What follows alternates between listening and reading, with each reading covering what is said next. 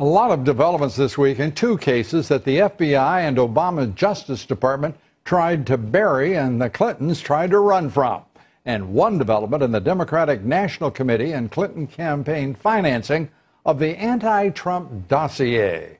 All the developments are substantive and mean that there is now a chance, are you ready? A chance that justice will win out. After an appallingly long period of stonewalling and brinksmanship, the FBI and Justice Department have finally agreed to congressional oversight. Isn't that nice of them? And why are we putting up with their arrogance? They decided to meet the demands of the Oversight Committee, the House Intelligence Committee, and its chairman, Devin Nunes, to have access to all documents and witnesses in the anti Trump dossier investigation. And today, Senate Judiciary Committee Chairman Chuck Grassley referred the author of the democratically funded anti Trump dossier to the Justice Department for criminal investigation because he's a lying whatever, former MI6 smear merchant. The FBI is investigating now as well the Clinton Foundation and pay for play corruption, which they should have been doing years ago. This, as the Justice Department is reportedly reopening its investigation of the Clinton email scandal all in addition to the opening of an investigation into the Uranium One scandal. Let's pause here just for a moment. The scandal is this the Clinton Foundation received $145 million, and the Secretary of State and the other members of CFIUS and the President of the United States, Barack Obama, permitted the Russians to get 20% of our uranium reserves. Does that sound like a strategic issue for national security? You're right, and not one of them objective. And while these developments are certainly welcome, I doubt many of us will get overheated about the prospects of resolution anytime soon. In my opinion, success in bringing the principles of these scandals to justice depends on how soon the Trump administration can clean out the corrupt officials who inhabit the highest levels of our Justice Department and FBI. The deep state and the deeply entrenched Obama Dem leftovers are still running many of the nation's top law enforcement and national security units and organizations within the FBI and Justice Department in particular. Agencies rife with conflicts and political corruption, including the Office of the Special Counsel.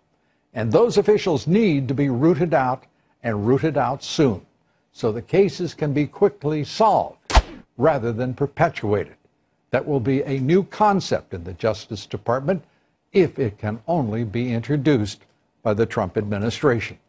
The corrupt officials of what has become the administrative state that now frustrates the honorable and committed public servants of justice and the FBI, they deserve far better.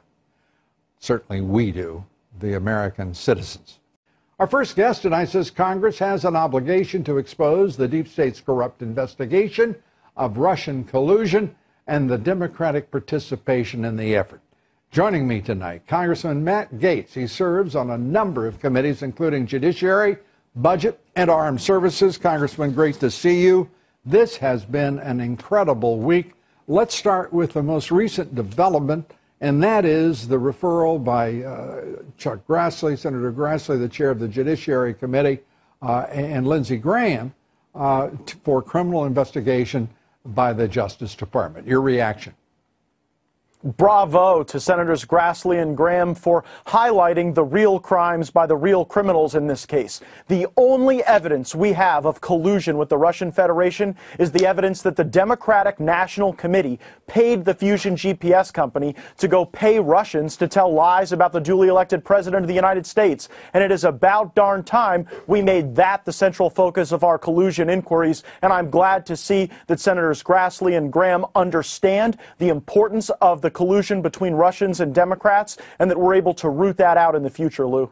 And the House Judiciary Committee, Congressman, on which you sit, why isn't there a turn there as well? Devin Nunes, uh, in my judgment, is a hero because he is the only one in his committee to produce evidence here of the, first of all, is exculpatory of the president and his administration and his transition team in any of the nonsense about collusion but is also driving uh, knowledge uh, about what really was going on here. And it's, I think at this stage, it is a, a straightforward, obvious attempt to subvert the President of the United States, duly elected, even before he got to the Oval Office.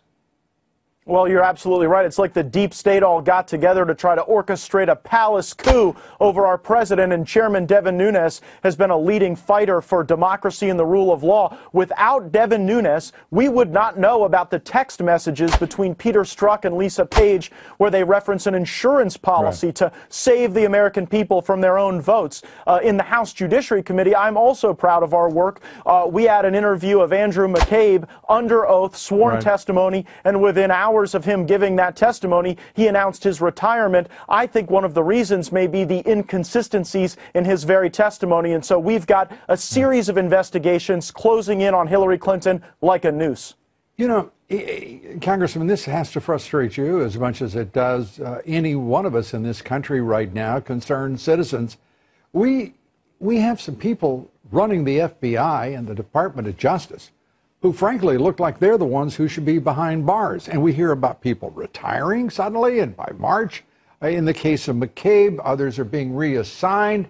Uh, but no one is being told you're fired, you're losing your benefits, uh, taxpayer funded benefits. And, and, by the way, we're also going to send you to jail. Uh, this is disgusting conduct. I mean, and, and by the way, part of my disgust in all of this is that it goes on and on the investigations, whether they're in House or Senate committees, whether the investigation is from the FBI, which is obviously at the top rancid with corruption, or, or the Department of Justice, where the pr- former president and an attorney general decide an investigation is really a matter, and the FBI director at the time, James Comey, says, Yes, ma'am, it is now a matter, and she. she was very pleased, I'm sure, at the, uh, the quick response of the highly, highly uh, principled uh, James Comey. But the rest of the country is sick to their guts that this is our government. Well, well, you're absolutely right. And the key difference about the way investigations were conducted in the past and the way they appear to be conducted uh, currently is that in the past, you had James Comey and a group of people who were doing Hillary Clinton's bidding, drawing the investigation away from the local field offices so that mm-hmm. they could pre bake the outcome and clear Hillary Clinton of wrongdoing, even though there really was wrongdoing. In this case, you've got the Little Rock field office actually yeah, doing the investigative work, working yeah, up the case, and that is a key distinction that should give us trust. Yeah, and, uh, and you're right to highlight that, and we should give great credit uh, to the U.S. Attorney uh, to the FBI in Little Rock for taking that field office, taking on uh, the issue that should have been under investigation from the moment uh, uh that the issue was raised. Instead, we had we had top officials in Washington, all part of the D.C. swamp. You know, people talk about the swamp in that town, Congressman, but to see how pervasive the corruption is uh, and, and the conspiracy against this government and the subversion of this president, it's overwhelming. And we can't live in a swamp where the biggest alligator is the Department of Justice or the FBI. We've got to ensure that the government works for us and works for democracy and the rule of law. Here you had people literally plotting and planning in the event that Donald Trump were elected president to undermine and disrupt his presidency. And that's why this criminal referral regarding and, the Fusion why, GPS dossier is so important. We have to go, but I mean, I'm going to leave this with a question, and we can we can uh, we can answer it over the weeks to come.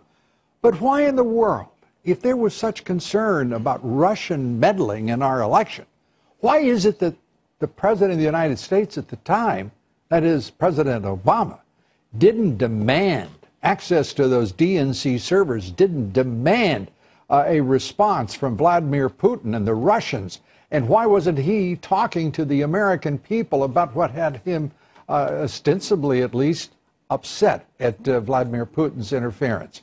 Uh, it is, it smells to high heaven from every quarter, uh, and there are a lot of questions still to be answered. Are we going to get to resolution Absolutely. in this new year, Congressman, as we wrap it up? Well, we absolutely have to. And uh, when you look at the magnitude of the allegations against Hillary Clinton, right now, we don't have a circumstance where we'll have people at the highest levels of our government clearing the way for her if we are vigilant as a Congress in our oversight. That's why it's so important the work we're doing to make sure that we have an equal standard of ju- justice that applies to everyone the same way, Lou. Congressman Matt Gaetz, as always, thanks for being with us and uh, keep up the good work. Subscribe now.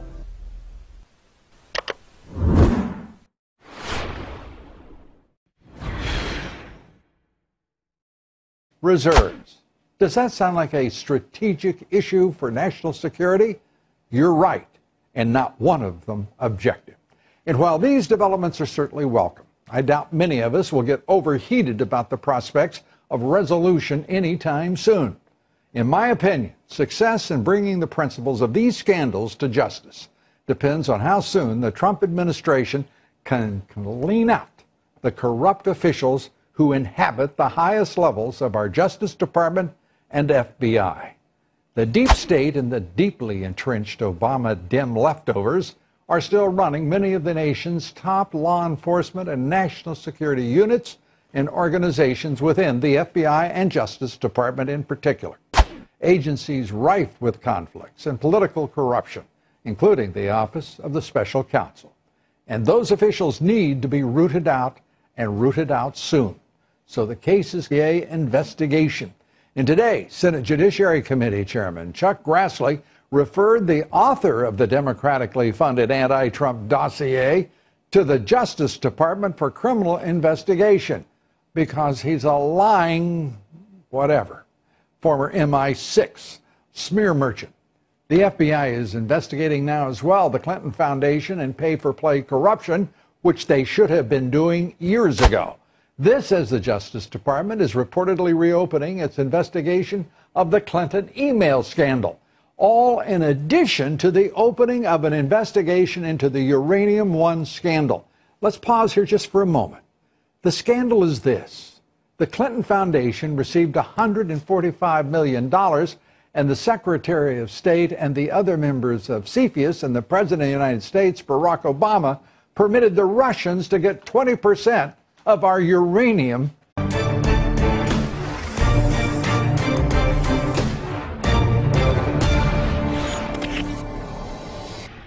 A lot of developments this week in two cases that the FBI and Obama Justice Department tried to bury and the Clintons tried to run from. And one development in the Democratic National Committee and Clinton campaign financing of the anti Trump dossier. All the developments are substantive and mean that there is now a chance, are you ready? A chance that justice will win out. After an appallingly long period of stonewalling and brinksmanship, the FBI and Justice Department have finally agreed to congressional oversight. Isn't that nice of them? And why are we putting up with their arrogance? They decided to meet the demands of the Oversight Committee, the House Intelligence Committee, and its chairman, Devin Nunes, to have access to all documents and witnesses in the anti Trump dossier can be quickly solved rather than perpetuated. That will be a new concept in the Justice Department if it can only be introduced by the Trump administration. The corrupt officials of what has become the administrative state that now frustrates the honorable and committed public servants of justice and the FBI they deserve far better. Certainly we do, the American citizens. Our first guest tonight says Congress has an obligation to expose the deep state's corrupt investigation of Russian collusion and the Democratic participation in the effort. Joining me tonight, Congressman Matt Gaetz. He serves on a number of committees, including Judiciary, Budget, and Armed Services. Congressman, great to see you. This has been an incredible week. Let's start with the most recent development, and that is the referral by uh, Chuck Grassley, Senator Grassley, the chair of the Judiciary Committee, uh, and Lindsey Graham uh, for criminal investigation by the Justice Department. Your reaction? Bravo to Senators Grassley and Graham for highlighting the real crimes by the real criminals in this case. The only evidence we have of collusion with the Russian Federation is the evidence that the Democratic National Committee paid the Fusion GPS company to go pay Russians to tell lies about the duly elected president of the United States. And it is about darn time we made that the central focus of our collusion inquiries. And I'm glad to see that Senators Grassley and Graham understand the importance of the collusion between Russians and Democrats and that we're able to root that out in the future, Lou. And the House Judiciary Committee, Congressman, on which you sit, why isn't there a turn there as well? Devin Nunes, uh, in my judgment, is a hero because he is the only one in his committee to produce evidence